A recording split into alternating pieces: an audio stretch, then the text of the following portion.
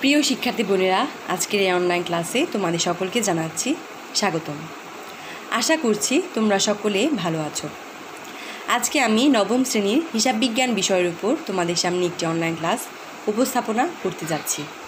এবং আজকে আমরা হিসাব বিজ্ঞান তৃতীয় অধ্যায় দু তরফা দাখিলা পদ্ধতি। এই দুতরফা দাখিলা পদ্ধতি ধারণা লাভ করব। এবং আজকে আমাদের এই তৃতীয় অধ্যায়ের প্রথম ক্লাস এবং এই দুতরফা দাখিলা পদ্ধতি অনুযায়ী আমাদের বর্তমান হিসাব ব্যবস্থা কিন্তু চলছে। অর্থাৎ পৃথিবীব্যাপী যে হিসাব পদ্ধতিতে হিসাব বিজ্ঞান তার কাজ পরিচালনা করছে, সে পদ্ধতিটা হচ্ছে দুতরফা দাখিলা পদ্ধতি। তাহলে দুতরফা দাখিলা পদ্ধতিটা আমাদের জন্য সম্পর্কে ধারণা লাভ করাটা আমাদের জন্য খুবই জরুরি। আমি আশা করছি তোমরা সকলে বই এবং খাতা নিয়ে অনলাইন ক্লাসে ঝটপট অংশগ্রহণ করে পেরেছ। যারা এখন এই অনলাইন ক্লাসে যারা এখনও এই অনলাইন ক্লাসে অংশগ্রহণ করনি, তারা ঝটপট বই খাতা নিয়ে এই অনলাইন ক্লাসে যোগদান করে ফেলো।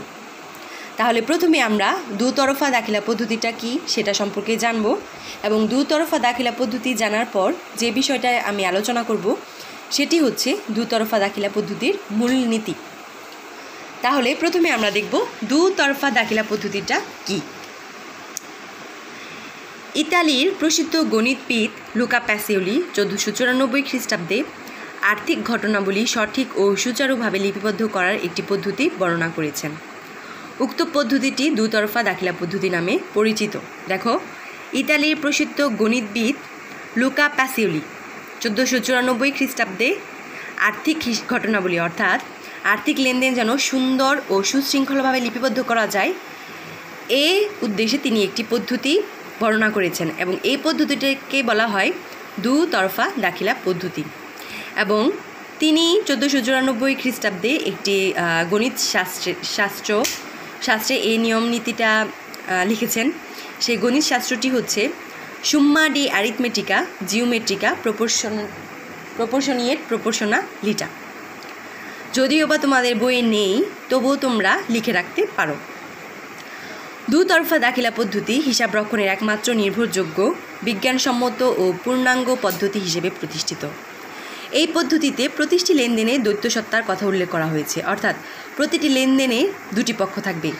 একটি হবে ডেবিট এবং অপরটি হবে ক্রেডিট। এটা কিন্তু আমরা জানি, তাই না? প্রথম অধ্যায়ে কিন্তু আমরা এই বিষয়গুলো আলোচনা করেছিলাম। প্রতিটি লেনদেনে দুই বা ততোধিক হিসাব খাত থাকবে। অর্থাৎ একটি ঘটনা দিয়ে লেনদেন তা কিন্তু কখনোই সম্ভব নয়। তাহলে সেই ঘটনাটাকে আমরা লেনদেন বলব না। এবং এই বিষয়টা নিয়ে আমরা কিন্তু গত ক্লাসে, অর্থাৎ দ্বিতীয় অধ্যায়ে আলোচনা করেছিলাম, তাই না? যে প্রতিটি লেনদেনের দুটি পক্ষ থাকবে। এই পদ্ধতিতে প্রতিটি ডেবিট লিখনের জন্য সমান অর্থে ক্রেডিট লিখন হবে। অর্থাৎ ডেবিট টাকা যে পরিমাণ হবে, ক্রেডিট টাকাও কি? সে সম পরিমাণ হতে হবে। ফলে বছরের যে কোনো সময় হিসাবের মোট ডেবিট টাকার অঙ্ক, মোট ক্রেডিট টাকার অঙ্কের সমান হবে। সঠিকভাবে হিসাব প্রণয়নের জন্য যে ব্যবস্থায় লেনদেনসমূহ সত্তা যথাযথভাবে লিপিবদ্ধ করা হয়, তাকে দুতরফা দাখিলা পদ্ধতি বলা বলা হয়। অর্থাৎ আমরা এখান থেকে বুঝতে পারলাম যে দুতরফা দাখিলা পদ্ধতি এমন একটি পদ্ধতি যে পদ্ধতিতে অবশ্যই দুটি পক্ষ থাকবে। একটি পক্ষ হবে ডেবিট এবং অপর পক্ষ হবে ক্রেডিট।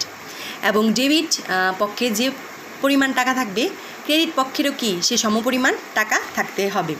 তাহলে যে হিসাব ব্যবস্থায় প্রতিটি লেনদেন দুটি ভাগে বিভক্ত করা হয়, সেই হিসাব ব্যবস্থাকে আমরা কি বলব? দুতরফা দাখিলা পদ্ধতি। তাহলে দুতরফা দাখিলা পদ্ধতিটা আশা করি তোমাদের কাছে ক্লিয়ার এখন আমরা জানব দুতরফা দাখিলা পদ্ধতির মূলনীতি বা বৈশিষ্ট্য। অর্থাৎ যে বিশেষ কারণে দুতরফা দাখিলা পদ্ধতিকে সম্পূর্ণ আলাদাভাবে কি চিহ্নিত করা যায়, সেই বিষয়গুলো আমরা জানব। হিসাব বিজ্ঞানে সবচেয়ে নির্ভরযোগ্য, বিজ্ঞানসম্মত, পূর্ণাঙ্গ ও স্বয়ংসম্পূর্ণ হিসাব সংরক্ষণ পদ্ধতি হচ্ছে কি? দুতরফা দাখিলা পদ্ধতি। দুতরফা দাখিলা পদ্ধতিতে অর্থ বা আর্থিক মূল্যে পরিমাপযোগ্য প্রতিটি লেনদেন কি দ্বৈত সত্তায় প্রকাশ করা হয়? ফলে একটি হিসাব খাতকে প্রাপ্ত সুবিধার জন্য ডেবিট এবং অপর হিসাব খাতকে প্রাপ্তত্ব সুবিধার জন্য ক্রেডিট করা হয়। দুতরফা দাখিলা পদ্ধতির মূলনীতি বা বৈশিষ্ট্যগুলো চলো নিম্নে আমরা পড়ে নিই। দ্বৈত সত্তা, অর্থাৎ প্রথম যে বৈশিষ্ট্য সেটাই হবে কি, সেটা কি দ্বৈত সত্তা যেটা কিনা সংজ্ঞায় আছে যে প্রতিটি লেনদেনে কি দুটি পক্ষ থাকবে, একটি হবে ডেবিট এবং অপরটি কি ক্রেডিট। তাহলে সেটাই হবে কি হিসাবের দ্বৈত সত্তা দাতা ও গ্রহীতা। প্রতিটি লেনদেনে সুবিধা গ্রহণকারী গ্রহীতা ও সুবিধা প্রদানকারী দাতা হিসেবে কাজ করে। তাহলে দাতা ও গ্রহীতা থাকবে একটি লেনদেনে। ডেবিট ও ক্রেডিট করা। সুবিধা গ্রহণকারী হিসাবকে ডেবিট এবং সুবিধা প্রদানকারী হিসাবকে কি বলব? ক্রেডিট। অর্থাৎ যে পক্ষ সুবিধা গ্রহণ করবে তাকে বলব আমরা ডেবিট এবং যে পক্ষ সুবিধা প্রদান করবে তাকে বলব আমরা কি? ক্রেডিট।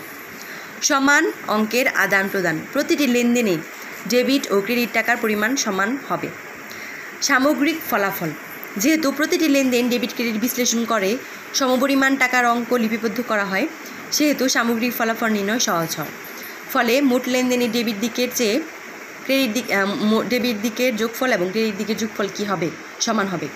আচ্ছা প্রিয় শিক্ষার্থী বোনেরা, তোমরা খেয়াল করলে দেখবে যে আমরা দুতরফা দাখিলা পদ্ধতিতে যে সংজ্ঞাটা পড়েছি, সেই সংজ্ঞার সমস্ত কথাই কিন্তু কি? এ, দুতরফা দাখিলার মূলনীতি বা বৈশিষ্ট্যে রয়েছে। প্রথমে হচ্ছে দৈত্য সত্তা, অর্থাৎ দুটি পক্ষ। তারপর রয়েছে দাতা গ্রহীতা, অর্থাৎ সুবিধা গ্রহণকারী, প্রদানকারী। তারপর হচ্ছে ডেবিট ক্রেডিট এবং সমান অঙ্কের আদান প্রদান এবং সামগ্রিক ফলাফল। অর্থাৎ সমস্ত বিষয়টা জুড়েই কিন্তু কি?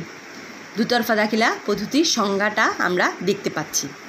তাহলে আমরা যদি ভালোভাবে মূলনীতিটা পড়ে নিই, তাহলে আমরা নিজেরাই কিন্তু কি?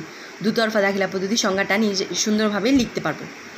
তাহলে আশা করি তোমরা বুঝতে পেরেছ দুতরফা দাখিলা পদ্ধতিটা কি। তারপর রয়েছে দুতরফা দাখিলা পদ্ধতির সুবিধাসমূহ। এবং আরেকটা গুরুত্বপূর্ণ টপিক রয়েছে তোমাদের যেটা, সেটা হচ্ছে ডেবিট ক্রেডিট নির্ণয়ের নিয়মাবলী। তাহলে যেহেতু তোমাদের সামনে অ্যাসাইনমেন্ট রয়েছে, তাহলে তোমরা অ্যাসাইনমেন্ট নিয়েও খুব ব্যস্ত। এই কারণে আজকে আমরা এতটুকুই পড়া রাখি। আশা করবি যে যতটুকু পড়ানো হয়েছে তোমরা বাড়িতে অবশ্যই পড়বে এবং ভালো মতো অ্যাসাইনমেন্ট করবে। তাহলে সে পর্যন্ত তোমরা সকলে ভালো থাকো এবং সুস্থ থাকো। এই আশা রেখে সবাইকে জানাই আন্তরিক ধন্যবাদ।